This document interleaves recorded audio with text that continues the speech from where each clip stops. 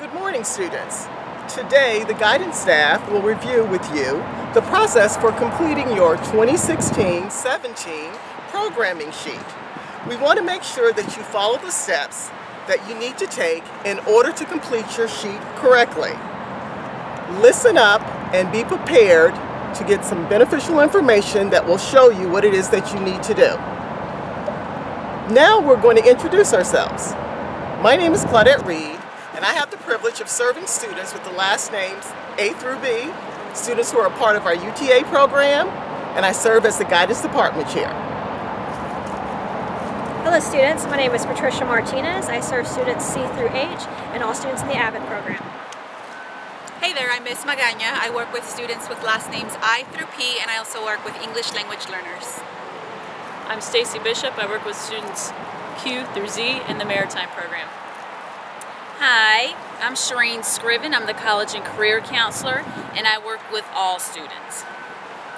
How you doing? I'm Coach Thomas. I'm the success coach here at Blake High School. I service all students, including my 100 wonderful students that I work with. Hi, my name is Miss Jones. I'm the school social worker and I service all students as well. Hi everyone, I'm Lucy Bash, your testing assistant. I service all students as well. All right, students, Let's come inside the guidance office and get started. Hi again, this is Miss Magana. Um, uh, what I will be reviewing is graduation requirements. So at this time, you want to look through your packet. Make sure you pull out this booklet. It's a Florida Guide to Public High School Graduation. Basically, it's a fancy name for a graduation guide. You want to make sure you open that. When you open that to page two, you will notice that there is a few tables with graduation requirements. Each table is for students depending on the year that they began ninth grade. So you want to think about your first year here at Blake or just in ninth grade in general, and you want to reference that year. For example, students that entered ninth grade in 2012-2013, that is the first graduation requirements table that you see there on your left. Um, so what I will do is I will review the uh, first four core subjects. That's English, mathematics, science, and social studies. An easy way to remember that is 4433. So you got that? 4433. You need four credits in English, four credits in math, three credits in science, and three credits in social studies. Um, in English, basically, you will be taking a year of English every year you are here. That's English 1, English 2, English 3, and English 4. That'll be your four English credits to graduate. As far as math goes, you will take algebra. Everybody takes algebra, and uh, geometry and algebra 2. Uh, note that for algebra 1, you must take and pass the FSA. For geometry and algebra 2, you must take the exam um, also. Again, that's uh, the end of course exam. In science, you require three credits. Uh, you will take biology. Uh, typically, students will take that in ninth grade. Then you will take either physical science or chemistry. And your third year would be um, an elective science course that you will pick. In social studies, again, you also need three credits. As a 10th grader, you take world history. In 11th grade, you take U.S. history.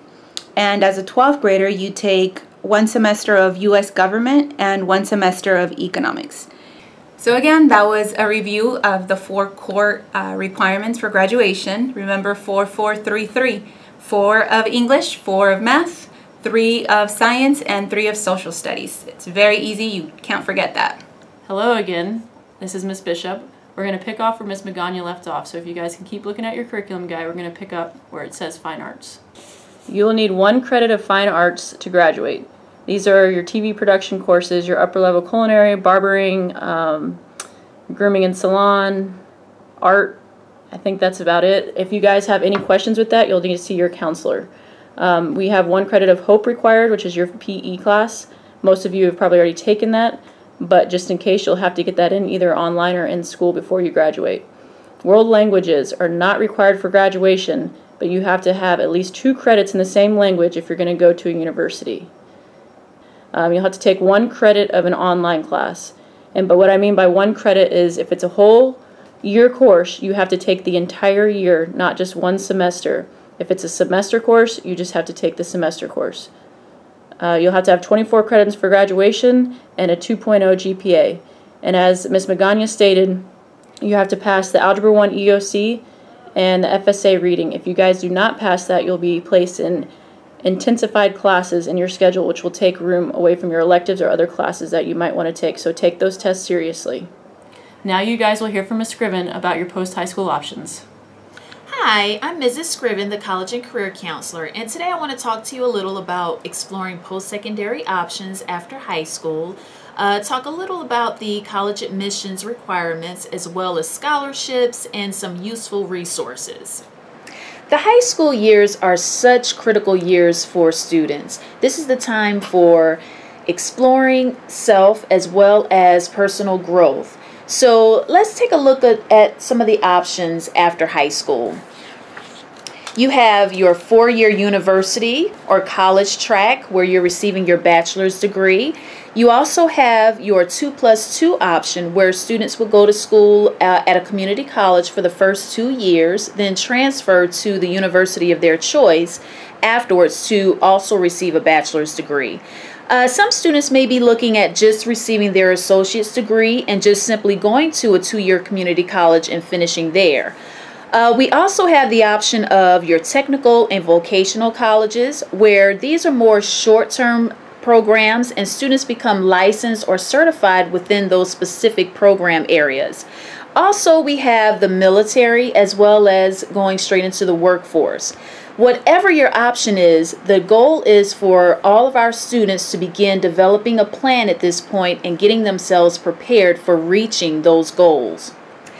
Now, let's take a look a little at the college admissions process. What does it take in order to get into the actual college of your choice.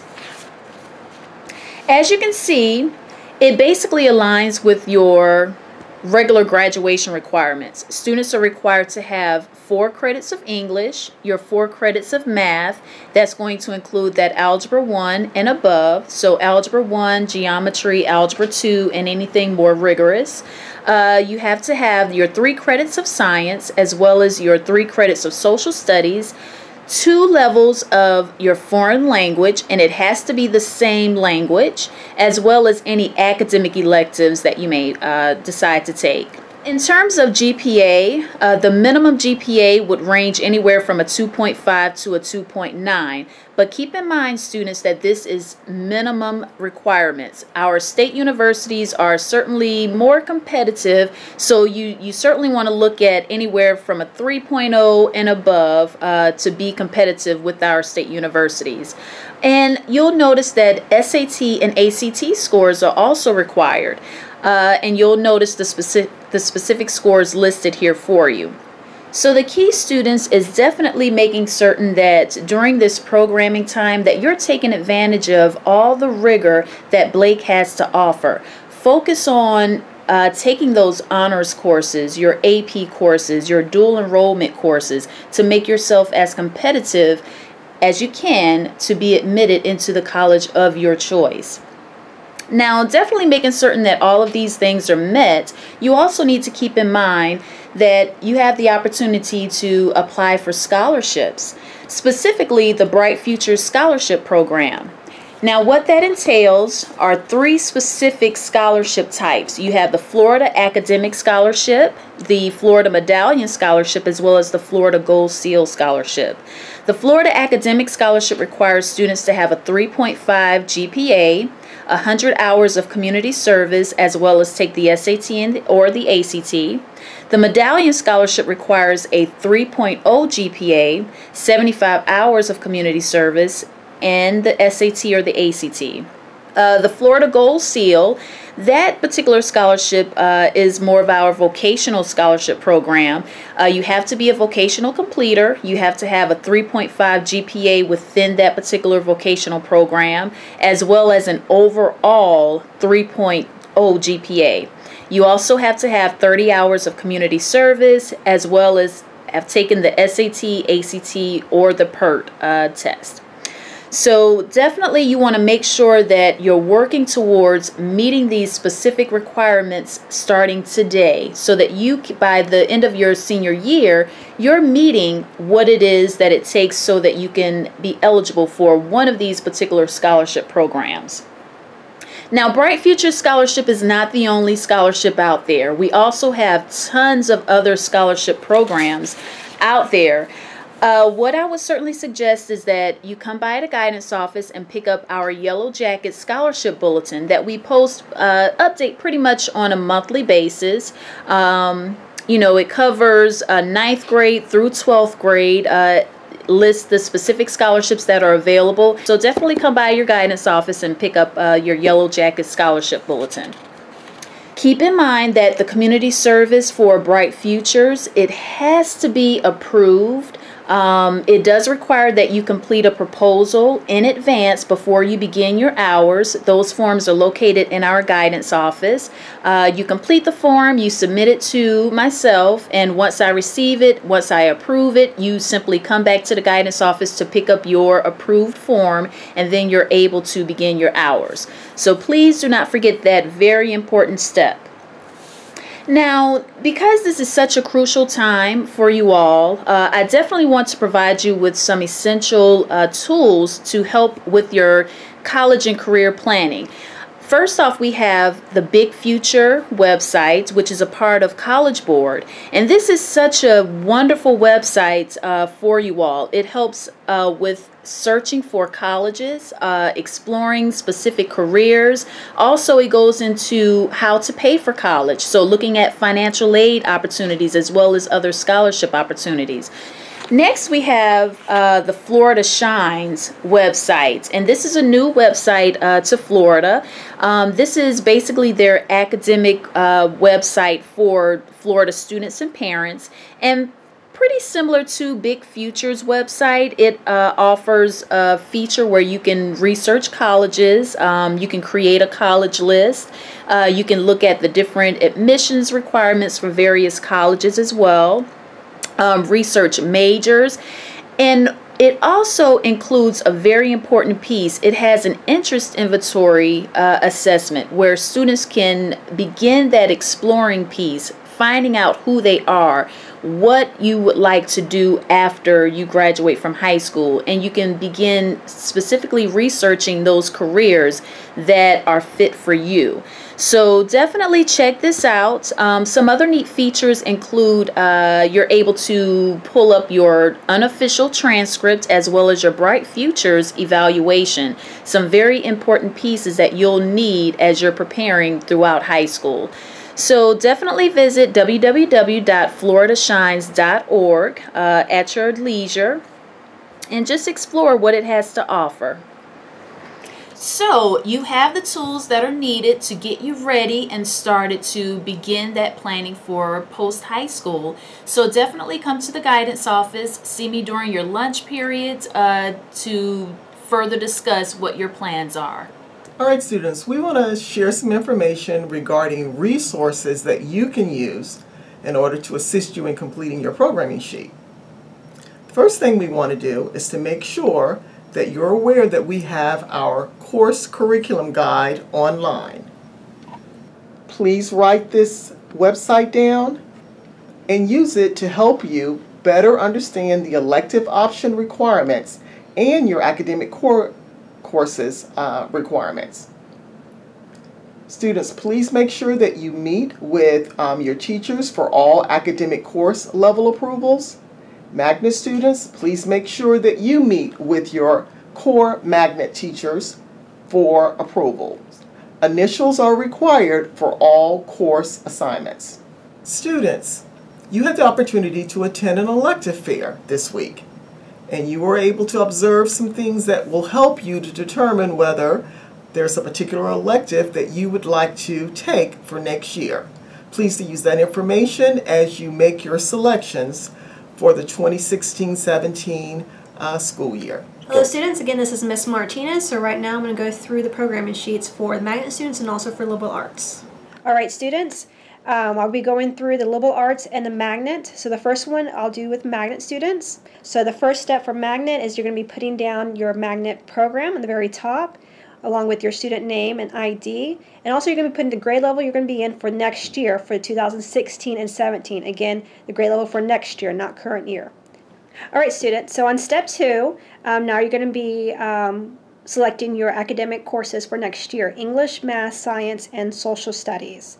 So you're going to be placing an X in the appropriate subject area per grade level. Now, if you're thinking about going honors level, dual enrollment, or AP, you're going to be needing teacher recommendation. So that would mean you need to get either their signature or their initials of your current teacher. So let's say if you're in English 1 honors and you want to go to English 2 honors to come next year, you're going to be selecting English 2, put an X next to the box, but also getting your, your current English teacher's signature. And it's going to be the same thing for the other subjects, math, science, and social studies. So again, now go to the liberal arts section. Um, same thing as a magnet, except you're not going to put a magnet um, program. So again, just putting your name at the top, your ID, your grade level for next year, filling out step one, which includes your telephone number, parent's name, telephone number, and email address. And also, same thing as I referred to the magnet side, uh, step two, selecting your subject area um, for appropriate grade level for uh, 10th, 11th, and 12th grade for English, Math, Science, and Social Studies, and making sure that you obtain your teacher's recommendation slash signature um, if you're planning to go into rigorous honors, AP, or dual enrollment for those subjects. All right, students, we're now ready to review step three. Step three of your programming sheet reviews electives. Students, please look carefully at the elective options that are indicated on your sheet. Make sure that you you've completed the required electives such as PE, which is HOPE, or if you've opted to do ROTC, that you've completed two courses under ROTC. If you're planning on attending a state school, you would need to complete two units of world language. We need students to look at identifying 10 options for electives. Please rank them in the order, one being the one that you want the most, 10, if you receive that course, you would be fine, but it's not your top priority. So again, students, please rank your elective options 1 through 10. 1, the one you want the most, 10, the one, if you receive it, it's fine, but it's not something that you really want. Now we're going to move to step 4. In step four, we're going to require you to provide us with some signatures. Students, please sign and date this form. Take this form home to your parents and review it with your parents, and then have them to sign it and date it. It's important that you have signatures from your parents as well as from you. The programming sheet needs to be turned in on Tuesday, December 15th, to your homeroom teacher. Friendly reminder, please make sure that you make contact with all of your academic core teachers for them to sign off for the level in which you will be taking your courses next year. All right, students, in closing, you've received a wealth of information today that will assist you in completing your programming worksheet. If you have any questions regarding any aspect of this process, please don't hesitate to contact any of our school counselors, our assistant principals for curriculum, Mr. Basham and Mrs. Thompson. We are all here to help. Thank you for your attention and have a wonderful Yellow Jacket Day.